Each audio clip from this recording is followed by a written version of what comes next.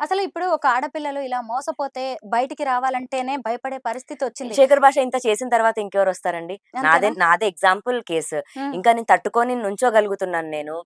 నన్ను నిర్- ని- నిర్దాక్ష్యంగా వదిలేశాడు. కాకపోతే ఏమైనా ఉంది అంటే ఇల్లు ఉందనే తప్ప రోడ్డుకే వదిలేశాడు. లాస్ట్ లాస్ట్ త్రీ మంత్స్ నుంచి మాకేమి మనీ రూపాయి ఇవ్వట్లేదండి. ఉన్న. బంగారం కూడా తాకట్టు పెట్టుకొని నేను. పే చేసుకుంటున్నాను.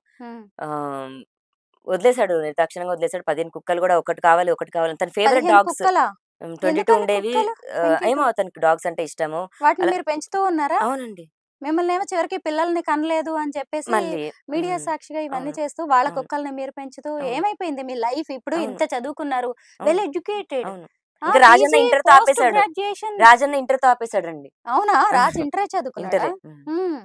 ఇంటర్తో ఆపేశాడు మరి ఏంటి ఈ రోజుల్లో అమ్మాయిలు ఎలా ఉండాలి? మోడర్న్ గర్ల్స్ ఇప్పటికైనా నేను పాత? పాతకాలం అమ్మాయిలాగే ఉండిపోయి. మోసపోయాను. ఈ రోజు నుంచి నాకు రాజు వద్దు అతనంతటా అతను నిజం తెలుసుకొని మరి అంటే టైం పడుతుంది. ఇప్పుడు ఒక ఐదేళ్ళు పట్టొచ్చు పదేళ్ళు పట్టొచ్చు. కానీ వాడి మనసుకి అయితే తెలుసు కదా. నేను అతనికి ఛాలెంజ్ చేస్తున్నాను. ఆ రోజు అన్నది వస్తది. ఆ. రోజున అతనికి నేను చెప్పే ఆన్సర్ గెట్ లాస్ట్ అంతే. అది మొన్న మాల్వికి చెప్పాను. ఇప్పుడు రాస్తారుకి చెప్తున్నాను. ఇప్పటి నుంచి నా పోరాటం రాస్తాను వద్దనండి. వద్దనే పోరాడతాను? రాస్తానికి అగేన్స్ట్గా పోరాటం చేస్తాను. అతను నాకు చేసిన దానికి అండ్ నన్ను చెడు అని ప్రూవ్ చేసి నన్ను వదిలించుకున్న దానికి. రాస్తానికి నేను శిక్ష పడేలాగా చేస్తానండి. రేపటి నుంచి మేము కొత్త లావణ్యం చూడొచ్చా? డెఫినెట్గా డెఫినెట్గా. అలాగా? అండ్ అంతే. అండ్ రాజ్ తరుణ్కి శిక్ష ఖచ్చితంగా పడిపిస్తానండి. నన్ను వద్దు అని అంటే ఏదో నన్ను మోసం చేశాడని నేను నేను నాలుగు రోజులు ఏడ్చి వదిలేసేదాన్ని. తప్పుడుది అని చేయాలి అన్న వాడి ఆలోచన క్రిమినల్. Criminal mind. అది అతనికి వాళ్ళ డాడీకి ఉంది. వాళ్ళ డాడీకి కూడా వాళ్ళ డాడీకి కూడా అండి. వాళ్ళ డాడీ? సైకాలజిస్ట్ అంటారు. ఒక మనిషి ఏం చేస్తే రియాక్ట్ అవుతారు అన్నది వాళ్ళ డాడీకి బాగా తెలుసు. అలానే ప్లాన్ చేసి చేశారు వాళ్ళ డాడీ. డాడీ. సైకాలజిస్ట్ కొడుకు ఇంటరే చదువుకున్నాడా? ఏంటి. అసలు? ఫ్యామిలీ ఇంటరే చదువుకున్నాడు అండ్ దాని తర్వాత సినిమా మీద దానిపైన. వచ్చేసాడు. వాళ్ళ డాడీ అయితే ఇంకా నేను ఒక పెద్ద టార్చర్ పెట్టేస్తాను. నేను ఇప్పుడు చంపేస్తానని కేసు పెట్టారంట? ఏంటండి నేను మాట్లాడడానికి వెళ్ళాను. తలుపు కొట్టి తలుపు తీయండి అంకుల్ మాట్లాడడానికి వచ్చాను. క్యూరీ ఉంది ఐరా ఉంది క్యాట్స్. ఇక్కడే ఉంటారా వాళ్ళు హైదరాబాద్లో హైదరాబాద్లోనే? ఉంటున్నారు. నేను వాళ్ళకి ఫుడ్ పెట్టలేదని అన్నారండి. వాళ్ళని వైజాగ్ నుంచి తీసుకొచ్చింది నేను. అయ్యో! ఏంటి అసలు రేపు మిమ్మల్ని మళ్ళీ రౌడీల్ని పంపించింది గుండాల్ని. కొత్తగా ఏమైనా వినాల్సి వస్తుందా అసలు నేను ఇప్పుడే మనం మాట్లాడేద్దాం. అవును- అవునవునండి. దేనిది కూడా నాకు సంబంధం లేదు. నేనేమి చేయలేదండి. చేయదలుచుకోలేదు కూడా అవును. ఓకే. సో నా నాకు పిల్లలు పుట్టరు అని అంటాడు. మన నా మెడికల్ ఇదండి. నాకు సర్జరీ అయిన తర్వాత సెవెంటీన్లోనే మీరిద్దరు విడిపోయినప్పుడు. ఇప్పుడు వీళ్ళందరూ ఎలా చెప్తున్నారు? అదే కదండి. ఎవరికి తెలుసు? ఎవరికి తెలుసు అండి నా రైట్ సైడ్? ఫెలోపియన్ ట్యూబ్ తీసారు sir. Left left side tube is normal. మరి డాక్టర్ ఇచ్చిన రిపోర్ట్ ఇది ఈ రోజు చేయించింది అయితే కాదు. మీరు ఒక్క చూడండి. ఫెలోపియన్ ట్యూబ్ ఉన్నా గానీ పిల్లలు పుడతారు, కనొచ్చు. ఎవరు ఎవరండి చూడండి. మరి అది నాకు ఆ రోజు డాక్టర్ రాపించినప్పుడు అప్పుడు నా వయసు మరి మీరు అప్పుడు సడన్గా కన్సీవ్ అయినప్పుడు? Present. Pregnancy with. Spontaneous conception అని చెప్పి. ఎక్కడ ఏ డాక్టర్స్ వీళ్ళు?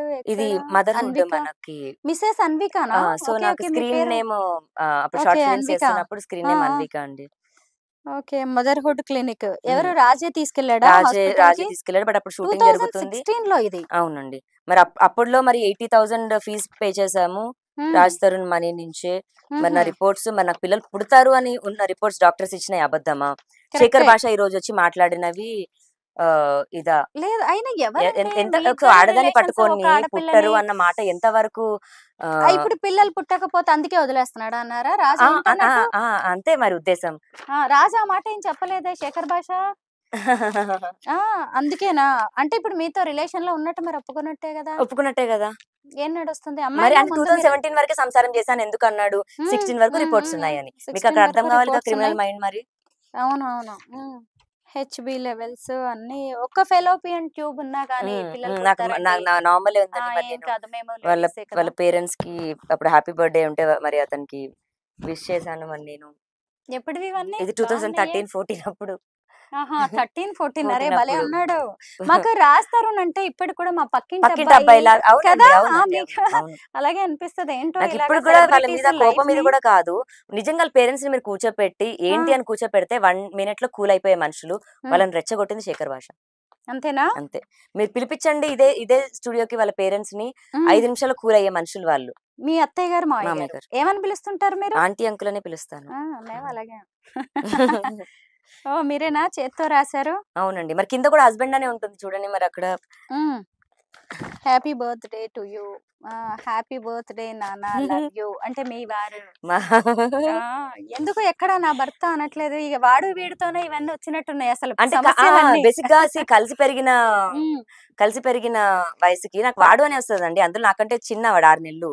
అలాగా కొత్త ట్విస్ట్ బాగుంది అయితే సో వాడు అనే వస్తుంది నాకు కానీ మీరు అని ఎలా ఇప్పుడు పెద్దోడు అయి ఉంటే వేరుండేది. కానీ చిన్నప్పటి నుంచి కలిసి కదండి ఇప్పుడు ఫిఫ్టీన్ ఇయర్స్ దాదాపు. కరెక్టే. ఆ- చనువు అవంతా కూడా. మరి ఇది రాస్తారు అప్పట్లో ఒక టెన్ ట్వెల్వ్ ఇయర్స్ ఎగో వాళ్ళ డాడీ అప్పుల లిస్ట్ ఫోన్ నంబర్స్ అండి. ఇందులో సగం పైగా మరి నేను పంపించాను. వాళ్ళ అప్పులు వాళ్ళ తీర్చడానికి? అప్పులు తీర్చడానికి మరి వీళ్ళందరి ఇప్పుడు మరి నా హ్యాండ్ రైటింగ్ ఇది నా హ్యాండ్ రైటింగ్ అండి. నేను చూస్తాను నిన్న చదివాను కదా నిజంగా. కొంత డిఫరెంట్ గానే ఉంది. ఇదా మీ హ్యాండ్ రైటింగ్? అది నా హ్యాండ్ రైటింగ్. నిన్నటిది బాగుంది.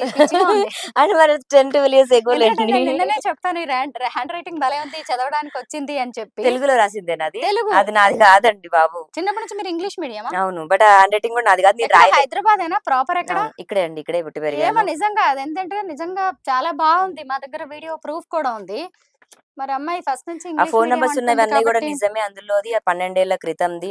ఇప్పుడు ఎవరిని. చెడు చేయాలన్నది అయితే నాకు ఇదేం లేదు నేను. అదే రెస్పాన్సిబిలిటీ తీసుకున్నాను అదే రెస్పాన్సిబిలిటీతో చేశాను అవన్నీ కూడా ప్రూవ్ ఏంటి మీ చేసుకుంటాను మావయ్య గారి అప్పులు తీర్చేస్తారా మీరు ఇవన్నీ మొత్తం కాకపోయినా దాంట్లో ఉన్నంత వరకు అయితే నా. బాధ్యత వరకు కూడా తను చేసిన తను నుంచే చేసిన మా ల్యాండ్ కూడా అప్పుడు అప్పుడు అప్పట్లో ట్వంటీ లాక్స్ అంటే చాలా పెద్దవండి. అలా సమ్ సిక్స్టీన్ లాక్స్ ఎంతో ల్యాండ్ అమ్మేసి మా వాళ్ళు ఎప్పుడు? టూ థౌజండ్ ఫోర్టీన్ ఆ టైంలో. మీ పేరెంట్స్ మా పేరెంట్స్ నాకు అప్పుడు ఒక పదిహేను లక్షల వరకు ఇచ్చారు. ఆ పదిహేను లక్షలు దాంట్లోనే మేము ఒక కారు కొనుక్కున్నాము. అంటే అప్పుడు ఏం లేదు మాకు. జీరో కదండి మేము స్టార్ట్. చేసింది. రాస్తారు నేను వాళ్ళ ఫాదర్ ఇదిగో నువ్వు కోటి రూపాయలు తీసుకొని పంపించలేదు మాకేమో హైదరాబాద్. వాళ్ళ అబ్బాయిని. జీరోతో స్టార్ట్ చేసుకున్నాం. మరి పదహారు లక్షల్లో అప్పుడు మేము కారు కొనుక్కున్నాము. ఒక పది లక్షలు. పెట్టి ఇంట్లో కావాల్సిన బేసిక్ అలా జీరోతో సంసారం స్టార్ట్ చేసామండి ఆ కార్ని కూడా రాస్తారు యాక్సిడెంట్లు ఒక త్రీ ఫోర్ అయ్యాయండి. త్రీ ఫోర్ బయటికి రాలేదు. నేను అలాగే కాపాడుకుంటూ వచ్చాను. ఒక ఓల్వోది మాత్రం బయటకు వచ్చింది మన రీసెంట్ అప్పుడు కూడా నేను లేనని అలా ఇతను ఏం చేసుకుంటున్నా కాపాడుకుంటూ వచ్చాను వెనకాల నేను. ఆఖరికి మొన్న అయిన యాక్సిడెంట్ కూడా టీవీ నేను వాళ్ళతో గొడవ పడతాను నేను రాస్తారు కోసం దాంట్లోని యూట్యూబ్లో కూడా అవన్నీ ఉంటాయి నా వాయిస్ అది. అలాగా? ఇంతకీ రేపు రాస్తారు సినిమా రిలీజ్ కదా! అటర్ ఫ్లాప్ అండి. నేను నా నోటితో నా ఇంటి ఆ, లక్ష్మి. నవ్వాలి అంటారు ఏడవద్దు అంటారు. నా నోటితో ఏడిచా నేను ఏడిచాను నా నోటితో మాట నిజంగా చాలా అంటే పవర్ఫుల్ మా కుటుంబం వరకు. చాలా ఇదండి. మాల్వి మల్హోత్రా అనే అమ్మాయి వల్ల రాస్తరుణ్ వల్ల సినిమా మొత్తం పోతది.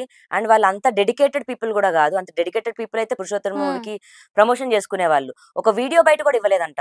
మరి అంత సినిమా పిచ్చి ఉన్న రాస్తరుణ్ అంత కుక్కలు ఇష్టం ఉన్న రాస్తరుణ్ మరి నన్ను మా అందరిని వదిలేశాడు. ఆఖరికి సినిమాని కూడా వదిలేశాడు. అలాంటి అలాంటి డెడికేట్ లేని డెడికేటెడ్ డెడికేషన్ లేని వ్యక్తికి సినిమా ఎలా హిట్ అవుతది? నన్ను మోసం చేసిన వాళ్ళకి సినిమా ఎలా హిట్ అవుతది? అట్టర్ ఫ్లాప్ అవ్వాలని నేను మనస్ఫూర్తిగా కోరుకుంటున్నాను. సినిమా చూస్తారా? చూడండి అసలు. ఎబ్బే. అట్టర్ ఫ్లాపే. ఖచ్చితంగా మళ్ళీ మనమే మాట్లాడుకుంటాం. అయ్యో లావణ్య ఎలా అనేసావు? నీకు ఎలా తెలుసు సినిమా పోయిందని? అన్నదే అవుతది. లేదా రాస్తారు ఫ్యాన్స్ అందరూ double double double double tickets కొనుక్కొని హిట్ చేస్తారా? ఎవరు లేదు నన్ను యూట్యూబ్లో నన్ను కమెంట్స్ పెట్టే వాళ్ళు తప్ప. ఎవరు అయితే రియల్ ఫ్యాన్ అయితే లేరండి రాస్తారు అయినా కామెంట్స్ పెట్టినంత మాత్రాన వెళ్ళి సినిమాలు చూస్తారా ఏంటి? అసలు నన్ను అయితే- నన్నైతే ఎంత తిడుతున్నారో అసలు. నో? ప్రాబ్లం పర్లేదు నాకేం ప్రాబ్లం ఆ సినిమా డిస్కషన్స్లో మీరున్నారా. లేరా? అసలు అంటే ఆ సినిమా స్టార్ట్ అయినప్పటి నుంచి లేరా స్టార్ట్? అయినప్పుడు ఉన్నానండి. ప్రతి హీరోయిన్తో ప్రాబ్లం ఉన్నట్టే ఈ హీరోయిన్తో ప్రాబ్లం ఉంది అనుకున్నాను కానీ ఈ అమ్మాయి నా కొంపనే ముంచుతాను అనేది అనుకోలేదు.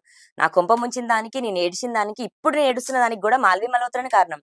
మాల్వి మల్హోత్రా లేకపోతే ఇదంతా జరిగేది కాదు. ఈ శేఖర్ భాష అన్నది లేకపోతే ఈ కేసు కూడా ఇంత వచ్చేది కాదు. కేసు అయ్యేది కూడా కాదు. సెకండ్ డే నేను వెళ్ళినప్పుడు మళ్ళీ కేసు పెట్టేది అను- అనుకోలేదు. అందుకే నేను ఫోన్స్ కూడా ఎత్తలేదు. మ్హూ.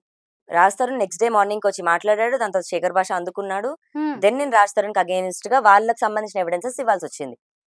శేఖర్ భాష వచ్చి ఇదిగో ఎఫ్ఐఆర్ ఇదిగో తొక్క అని మాట్లాడకపోతే నేను ఇచ్చేదాన్ని కాదు. ఓకే. మాల్ మాల్వి మీకు పర్సనల్గా తెలుసా తెలుసండి. అంటే? కలవలేదు కలవలేదు ఎప్పుడు కానీ ఫోన్స్లో అయితే మాట్లాడడం జరిగింది. బెదిరించుకున్నాము. బెదిరించడం అంటే వదిలేయి వదిలేకపోతే నేను మీడియాకి ఇస్తాను. అంతే తప్ప నా బెదరడం బెదిరించడం కొట్టడం చంపడం కూడా కాదు.